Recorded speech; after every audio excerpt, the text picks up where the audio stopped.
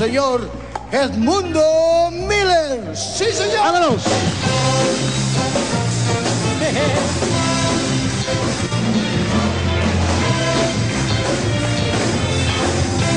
Ahí está, señores.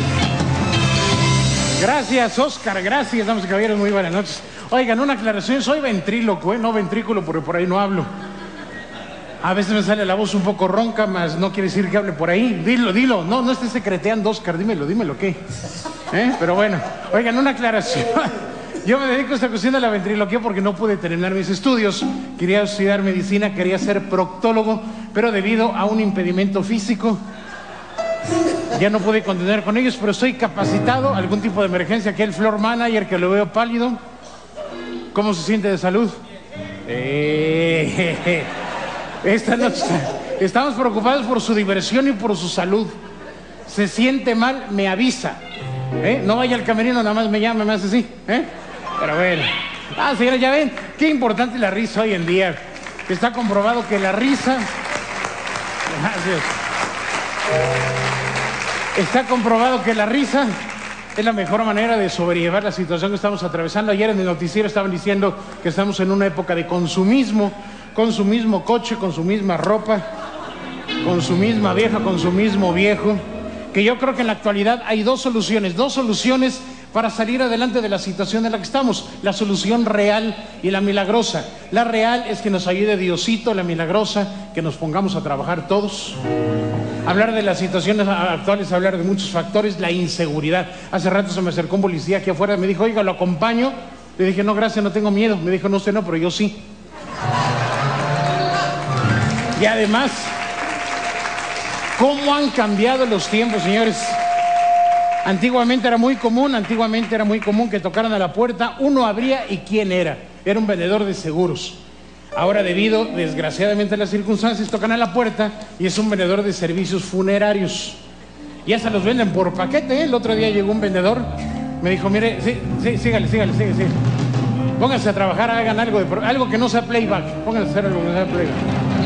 Me dijo el vendedor, le ofrezco este servicio. Consiste en un dosel, unos cortinajes y un ataúd, todo por 20 mil pesos.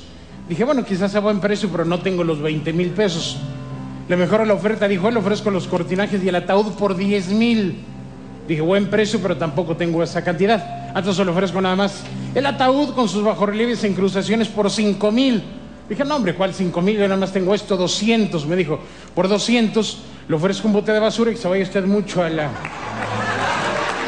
Y eso fue todo lo que me vendieron por 200 pesos.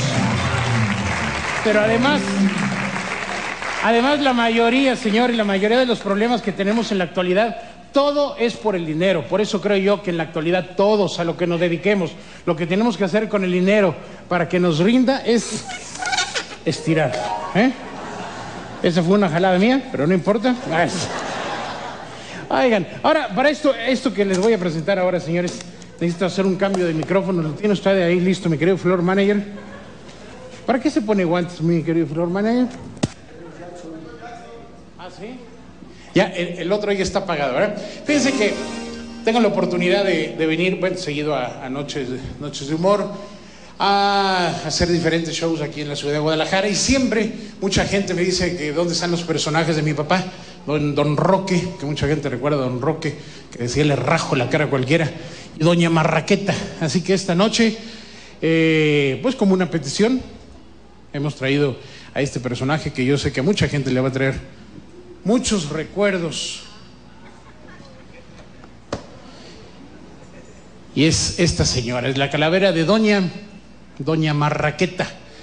Restos de algo que en un tiempo fue un ser viviente. Señora Marraqueta, buenas noches. Buenas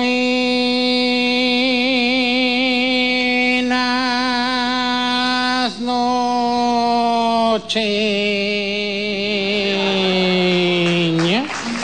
Señora, buenas noches.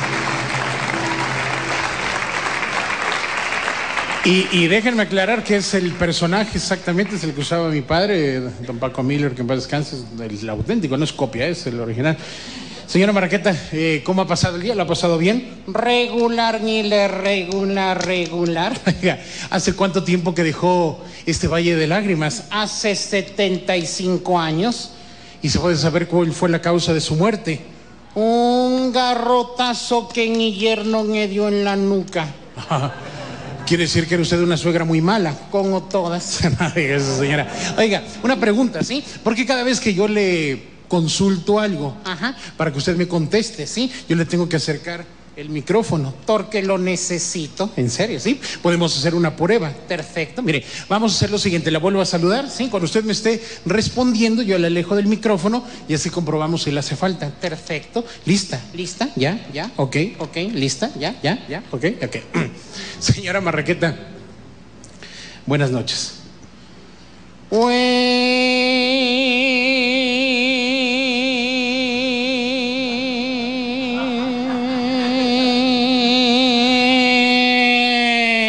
noches, señor Miller. Buenas noches, señora. Ahora, ¿qué? Gracias.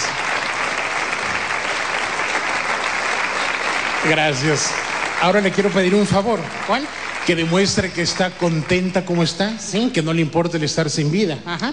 Y que interprete una canción que cantaba cuando estaba aquí en este mundo. Perfecto. Una canción que me cantada mi novio, Ajá. Usted tuvo novio, ¿sí? ¿Quién fue? Agustín Lara. Ah, ok. Pero ahora está Oscar aquí. Me gustan huesudos. Ok. bueno. Señora.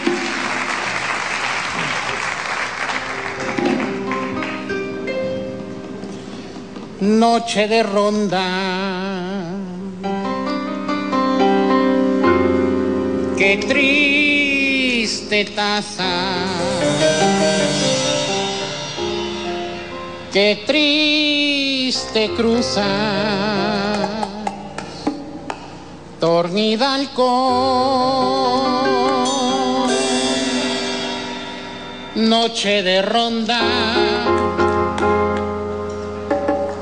con un hiere con un lastinga la suya maestro. Mi corazón.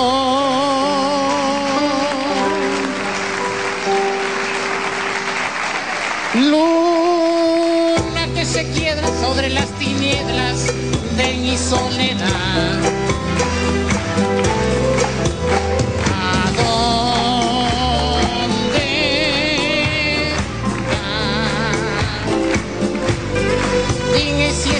noche ronda como ella se.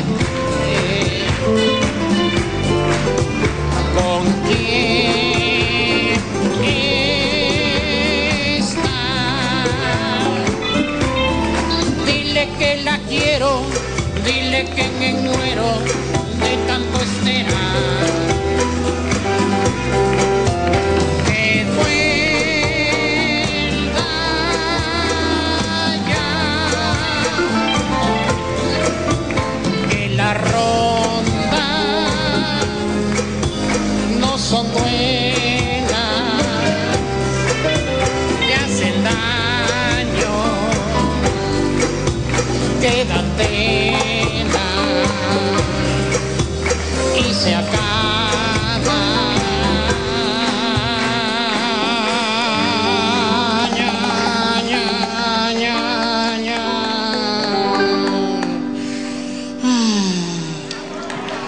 Me cansé. Claro. También porque hace esa nota tan larga. Tienen que jalar el resorte y no me lo suelta. Ok.